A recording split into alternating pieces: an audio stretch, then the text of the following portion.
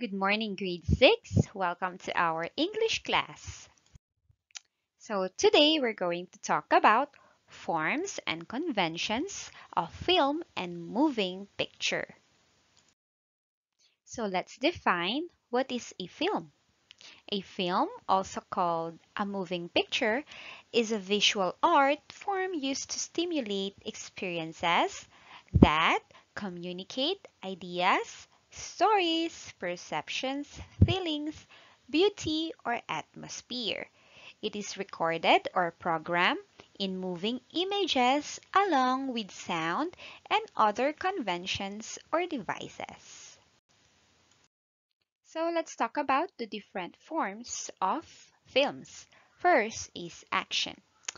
Action is a genre that typically include violence, extended fighting, and physical feats. Next one is adventure. So adventure is a genre whose plots features elements of travel. Next is comedy, category of film which the main emphasis is on humor. This film is designed to make the audience laugh. Next is crime and gangster. So these films films are developed around sinister actions of criminals or gangster. Next we have drama. So this genre of film is a serious presentations or stories with settings or life situations that portray realistic characters. Next is epic historical. So this film is often take a historical or imagined event, mythic, legendary, or heroic figure. Next one is we have horror. This type of film is unsettling films designed to frighten and panic, cause dread and alarm. Next one is musical dance. So it is a cinematic form that emphasizes and showcase full-scale song and dance routines in a significant way. Films that are centered on combination of music, dance song, and choreography. We also have science fiction.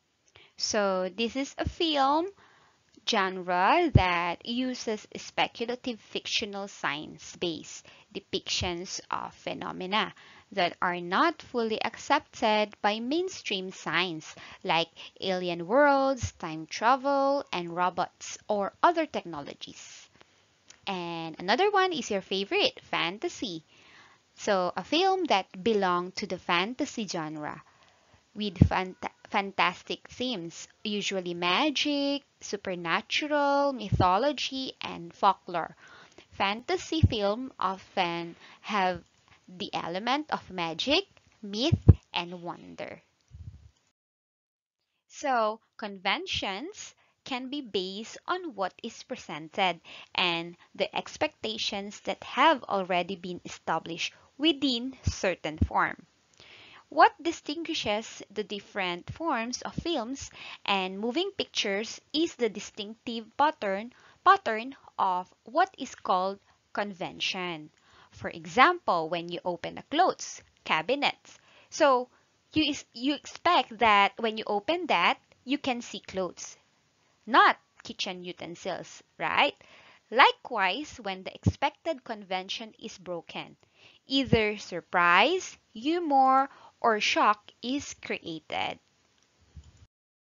So plot, narrative structure, or the setting, characters, and events, a story in a book, film, or television series opens with one or more characters in a situation where an incident stirs up a conflict.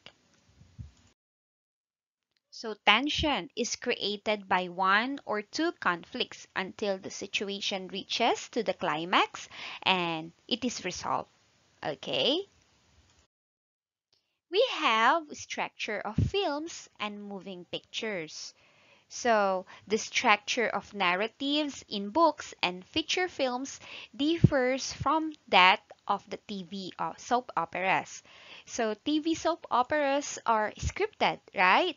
Created and show in segments, with the lengths of segments determined by how frequent and how long the advertising breaks are. A subplot is common to written narratives feature films, and TV soap operas or series. So we also have visual. Visual symbols like a rainy or gloomy weather, it might suggest sadness or depression. Also, motifs are in the form of the rain, sea, mud, and trees. These motifs are recurring or repeating. A physical as well as an emotional or mental journey form the basis of the structure of film narrative. Symbols and motifs unify narratives, okay? So we have the sound. Sound can also unify narratives, providing recurring motifs. A good example is the regular, rhythmic, and sinister musical beat in the film Jaws. So the rhythmic sound is repeating and this is the signal that another shark attack or crisis is coming. We also have the themes. Themes, narratives of films and TV soap operas and series have themes or central ideas. So these themes can be interpreted by relating them to the expectations we already have and that resolve or revolve around the external and internal conflicts of the character in the story. So we have the forms, the essential structure of a visual language text, its organization, style, and sequence. So a film may be structured in flashback or contrasting sequences from plot and subplot.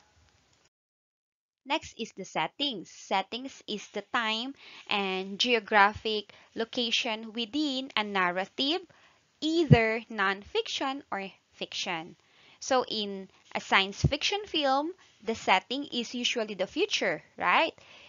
The setting initiates the main backdrop and mood for a story. We also have codes. Codes are the common characteristics or conventions of any genre, including the film. We have the structural codes include the plot, character, and setting, while the stylistic codes include lighting, shooting, sound, and music. Okay?